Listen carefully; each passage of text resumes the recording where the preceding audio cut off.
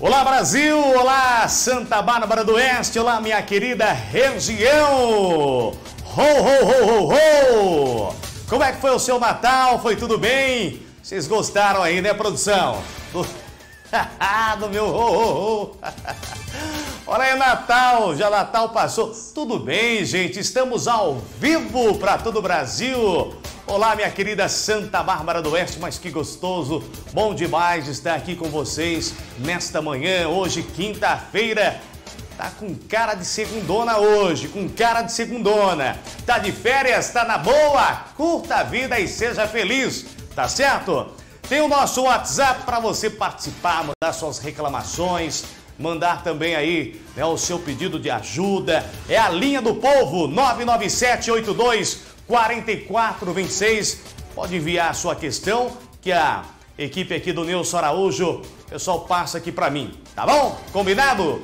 Bom demais. Vamos lá, você que me ajuda, você que me ajuda a fazer o jornal aqui todos os dias. Vamos lá, estamos ao vivo 10 horas, 10 horas agora. São 10 horas agora em Santa Bárbara do Oeste, gente.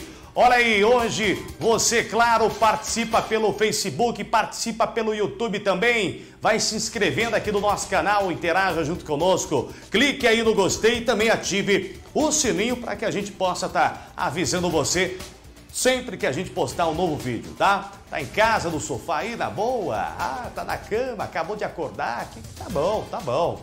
Não esquenta a cabeça não.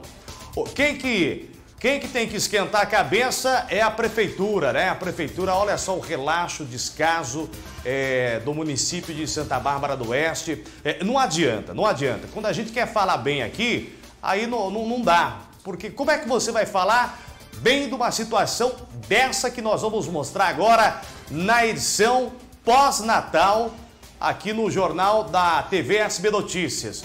Os cemitérios aqui de Santa Bárbara do Oeste estão precisando de manutenção, estão precisando de atenção e principalmente é quando envolve, quando falamos de limpeza.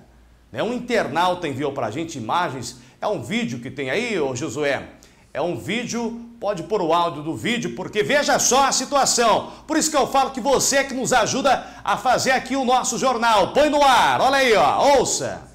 Ah, segura um pouquinho para mim, segura um pouquinho. Ó, o que você vai ver aí, gente, o que você vai ver aí hoje não vai agradar ninguém, ninguém. É um descaso, uma falta de respeito, não só para a família, mas quem ali foi enterrado, né? Tá ali, né? as famílias é, que, que enterraram ali os seus entes queridos. E é um desrespeito, obviamente, um desrespeito aí a nossa população, a quem está lá. Põe no ar então esse vídeo, ouça só com atenção, a nossa internauta enviou pra gente, vai lá. Olha a situação aqui do cemitério de Santa Bárbara do Oeste. Totalmente tomado pelo mato, ó. Isso é um desleixo da cidade. Tem túmulo que a gente já não consegue nem nem ver de tanto mato que tem, gente. Achei um descaso tudo isso.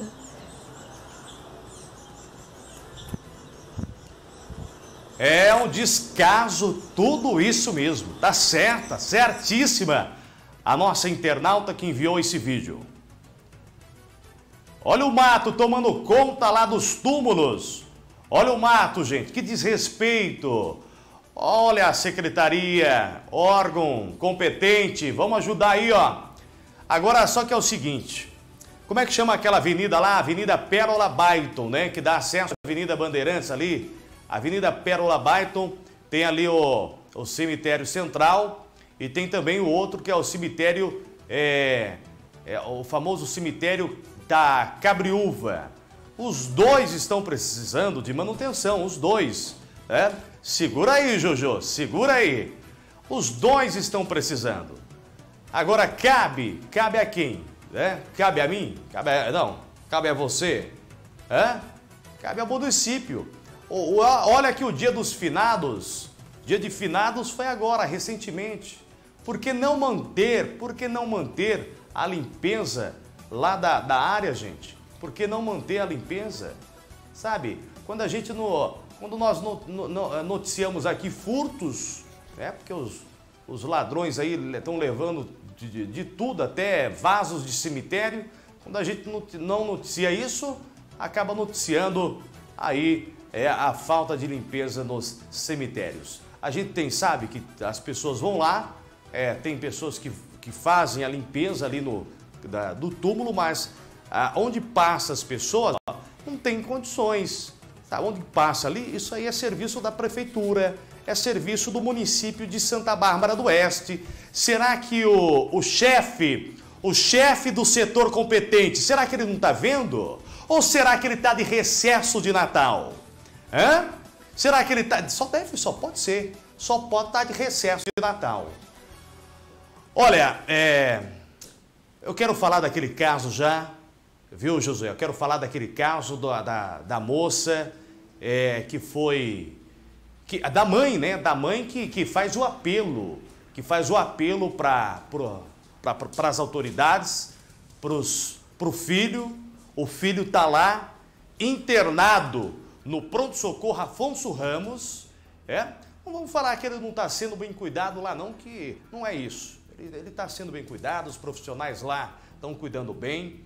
É, é, a mãe até nos relatou é, que é, tem sido bem atendida mas ali não é lugar dele ficar, não, dele permanecer. Ele está precisando de uma transferência para UTI, urgente, que seja aqui no município de Santa Bárbara do Oeste ou em algum outro hospital da nossa região. Lucas Gomes da Silva, de 22 anos, esse rapaz que aparece aqui no nosso telão no fundo, ele está aguardando por uma vaga na UTI aqui de Santa Bárbara do Oeste já há quatro dias desde domingo, desde domingo quando ele sofreu o acidente. Ele deu entrada à mãe Nancy Gomes, diz que ninguém dá uma resposta para ela, nenhuma posição até o momento. Mas nós temos aí o depoimento da, da mãe e ela vai falar com a gente e para você ver a angústia, o desespero. Só quem é mãe, só quem é mãe, só quem é pai sabe o que eu estou falando. Põe no ar a reportagem, põe o depoimento da mãe aí. Ele tava se recuperando, mas aí tentaram tirar o aparelho dele, aí apareceu uma pneumonia e ninguém consegue arrumar uma UTI pra ele. Eu tô desesperada. Eles só me dizem que tá aguardando a vaga pra UTI, ninguém me responde nada. E o que eles me passam é só na hora de visita eu fico aqui ó, o dia inteiro aqui plantada esperando, ninguém me dá oposição de nada. É, eu tenho uma filhinha. Ela só chama pelo irmão. Quantos aninhos tem a filhinha? Cinco aninhos. Tem ninguém aqui que possa dar uma resposta para a senhora? Tem que aguardar assistência social? Sete e meia o médico não passou pra, pra passar? Ninguém, ninguém, ninguém fala nada pra mim sete e meia, diz que é só na hora da visita. Ah, eu peço pra todo mundo que, que me ajude. Meu filho só precisa de UTI, que ele já tava se recuperando, esse é meu pelo. Ele precisa sair daqui porque aqui não tem recurso pra ele. Não tem equipamento pra estar tá uma pessoa só em cima dele. É só isso que é meu pelo, eu só preciso de uma UTI, gente. Vamos, vamos me ajudar. Eu desesperada, eu quero meu filho. Tô sem forças, mas eu tô com fé em Deus que ele vai ter que sair daqui ainda hoje. Hoje, meu Deus. Ou qualquer lugar. É um pedaço de mim que tá faltando, tô desesperada. Só Deus sabe como a mãe passa. Se eu pudesse entrar no lugar dele lá, eu entrava e deixava ele sair dali. Ai, gente, eu preciso de ajuda. Ajuda.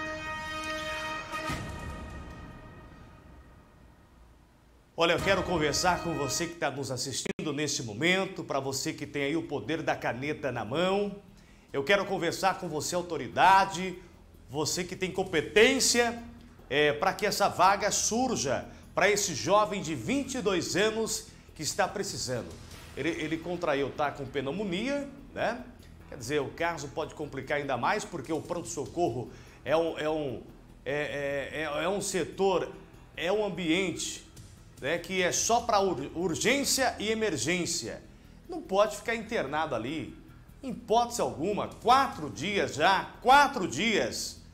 É, a mãe pede encarecidamente, ela pede para que as autoridades, a mãe pede com, com tanto fervor pede para que o filho saia do pronto-socorro Afonso Ramos e seja transferido para o hospital, para que ele possa dar é, é, andamento aí ao tratamento dele.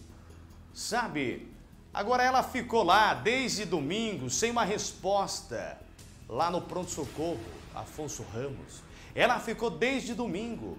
Hoje pela manhã eu fui até lá, conversei com ela, a dona Nancy, foi muito bem atendido lá pelos coordenadores do pronto-socorro, não tenho o que falar. A gente também, quando é justo, é justo, viu gente? E eles estão lá também de, de mãos atadas, não tem o que fazer. Mas eu tenho certeza que você que é deputado estadual, você que é deputado federal, é?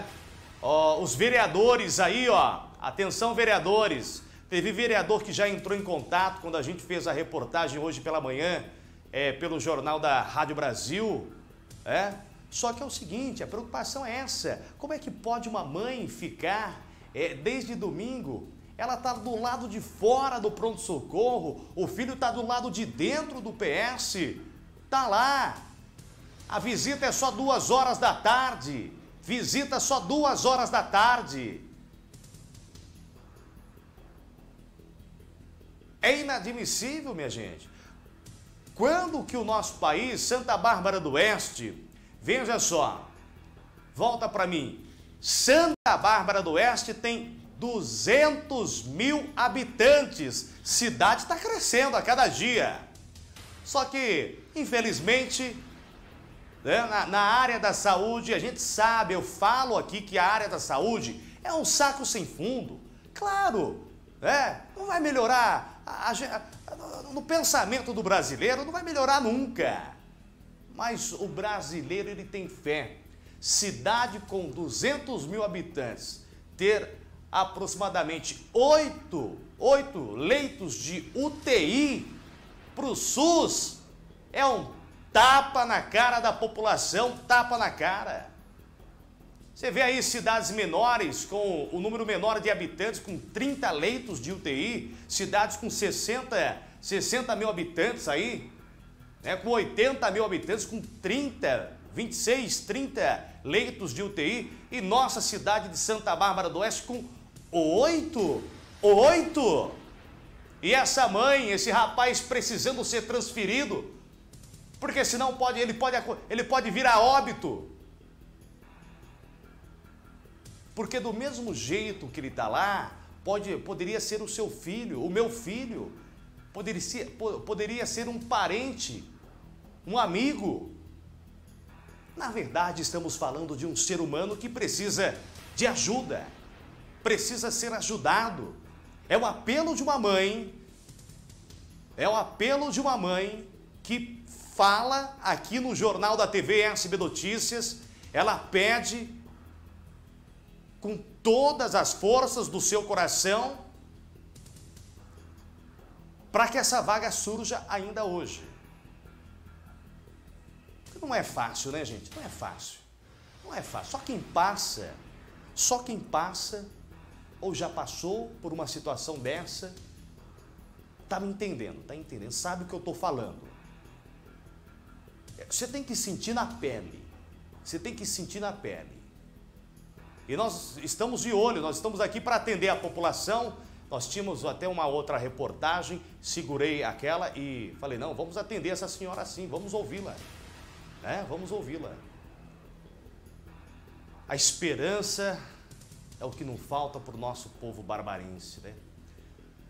Olha, falando de esperança, a Guarda Civil Municipal de Santa Bárbara do Oeste fez ontem uma campanha fantástica nota mil, é, se eu não me engano, já é o sétimo ano consecutivo. Subinspetora Juliana, à frente, coordenadora desse, desse evento, fez um evento maravilhoso ontem. Parabéns, foram mais de 2.400 brinquedos arrecadados. E eu quero aqui parabenizar né, toda a Guarda Civil Municipal que, que se empenharam na realização dessas doações. Eles estiveram ontem lá na Vila Sartori, foram recepcionados lá pelas crianças, pelas famílias carentes. Depois de lá, eles foram até o Jardim Europa lá na praça Rossi Armênio, né?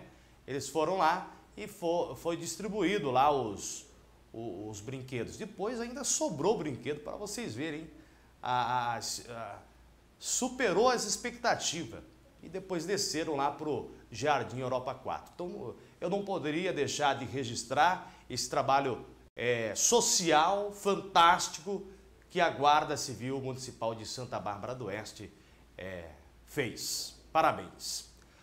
Olha aí, vamos mandar aí, ó, alô pro pessoal aí, ó. Ah, Maria Marta Santos, bom dia, Nilson. Rose, é, como é que é?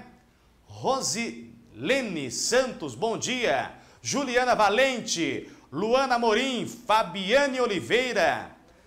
Ela tá falando, vamos, Prefeitura de Santa Bárbara, é feriadão, né? Pós-feriado, pessoal de recesso, é, e o povo sofrendo, né? O povo sofrendo. Andréia Colono, bom dia, Nilson. Venha ver o bairro Romano, Praça Mato Muito Alto. Ô, Andréia, não é querer desanimar você não, minha querida, mas olha, nesse recesso entre dezembro e janeiro, a... tomara que a coisa não piore por aí, viu? Não só aí, mas também na... em outros bairros aqui da nossa cidade. Mato vai crescer, hein? E cadê a equipe? Juliana Valente, engraçado, né? Que praça é, como é que é? Ele é, superfatura e cemitério que tem grama, cemitério que tem grama, coisa que o senhor prefeito gosta, largou para trás, hoje já sei, isso não terá benefícios a ele. Ah, aí a nossa internauta, recesso de Natal, imagina né filha, aí ó, isso é de meses. Cadê os vereadores, cadê os prefeitos da Regiane? Regiane, teve vereador que se manifestou no caso aí do, do rapaz. A gente, a gente sabe que tem gente boa ali também, né? O El Rocha, meu pai teve câncer ali. Era um puro, um puro descaso esse, esse. Não é hospital, é o pronto-socorro, né? Passou a hora de fechar.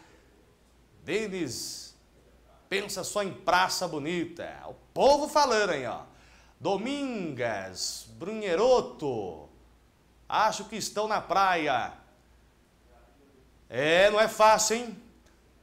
Ontem enterrei o meu vizinho. Foi às 20 horas na véspera de Natal no, no Afonso Ramos. Mandaram de volta para o óbito às 6 horas da manhã de ontem. Descaso.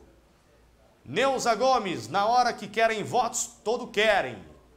Que tristeza, né, Vanessa? Araújo, Xará. Tá aí, ó, o povo falando aqui, interagindo no nosso canal. No Edson Mano também tem paciente esperando vaga, hein? Tá feio lá mesmo. O número de, de leitos, nem me fale, né? A Denise Nunes. Não adianta só dar cara bonita, né, Denise? Não adianta só reformar prédio. O povo quer ser atendido, quer médico, quer remédio, quer medicação. O El Rocha, praça tá bonita. É isso que importa. Tá aí, né, gente? É o povo falando aqui no Jornal da TV SB Notícias. Bom, para vocês uma ótima quinta-feira. Amanhã a gente volta aqui com o Jornal da TV SB Notícias. Fiquem todos com Deus. Mas eu quero que você lembre o seguinte: mexeu com você, mexeu comigo. Tchau, minha gente. Até amanhã.